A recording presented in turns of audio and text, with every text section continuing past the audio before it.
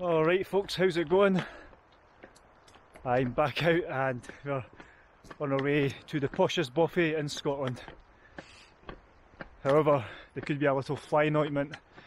It's been raining non-stop all the way up from Edinburgh and some other walkers in the car park have advised that the rivers are too swollen to cross and couldn't reach the bothy.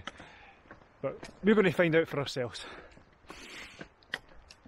Today I'm with my dad and uncle, so it's a wee family experience again.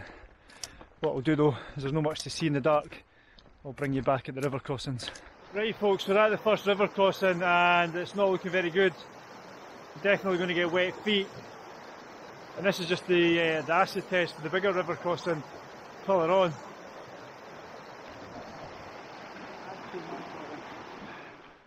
Right, this is becoming a bit of a carry-on film by the way.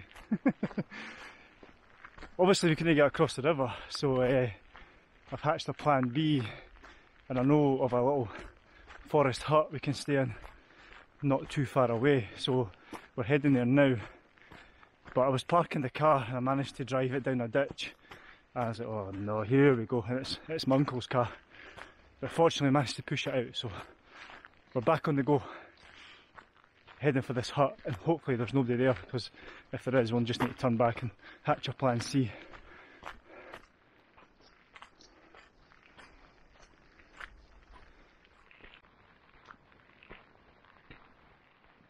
Right folks, well we've arrived. We've been here for about half an hour, 40 minutes.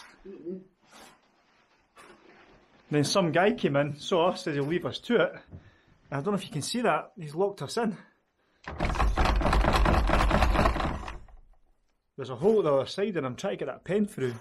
And it's just no quite, pen's no strong enough, it's just a wee bit too high. What about the spoon, Robin? Aye, give me the spoon. Right beside you.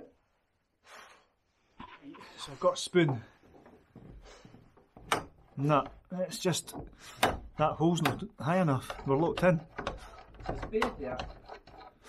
Ah, but what's the spade going to do? Well, I'm getting there.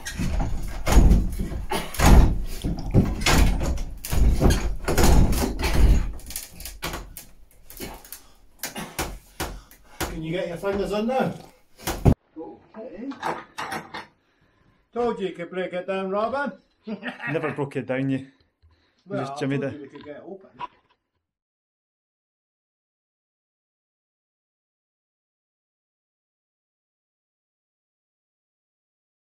Good morning, folks.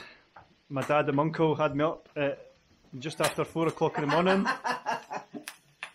He loved but it. he's made up for it by making the bacon and egg double deckers. There's Uncle Si enjoying his roll. Give us a wave, Si.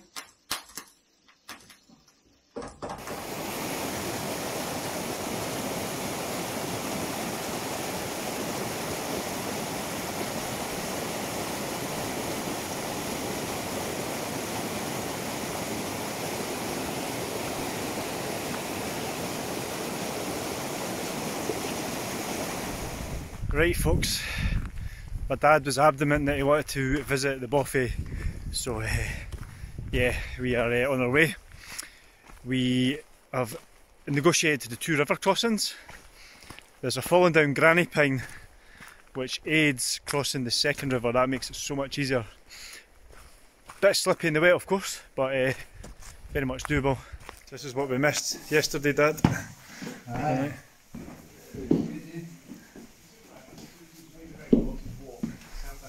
It is one of the major export hubs. Right, folks. They have a big dam in the mountain.